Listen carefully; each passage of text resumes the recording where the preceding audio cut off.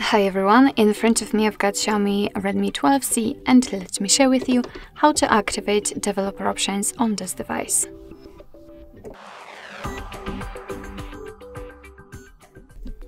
So uh, first of all we have to enter the settings and then let's tap on about phone. It should be at the very top of the settings.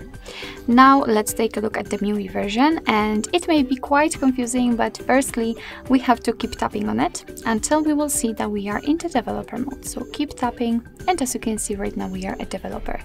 So uh, now we can go back and be aware that if you've got any kind of screen lock currently set then your device will ask you to enter it in order to confirm the whole step.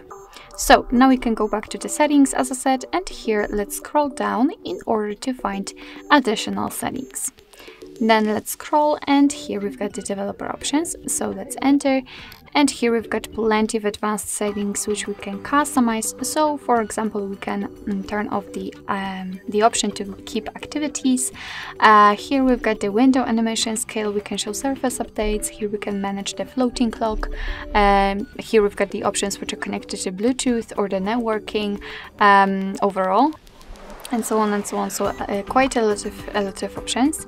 So in order to turn the option um, it's of course quite easy because it just works the same as in the normal settings. So just tap on the feature and on the switcher actually and as you can see it will be immediately activated and applied. Of course you can turn it off the same way. If you've got the options without the switcher so for example like here in this window animation scale just tap on it and open more options.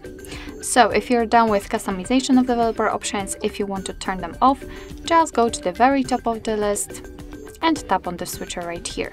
As you can see, most of the options will be inactive and after getting back to the um, probably general settings and entering the additional settings again, the developer options will disappear. But of course, no worries, you can customize them again. Just go back to the build number step and keep tapping. So basically that's all. This is how to enable developer options in your uh, Xiaomi Redmi 12C. Thank you so much for watching, I hope that this video was helpful and if it was, please hit the subscribe button and leave the thumbs up.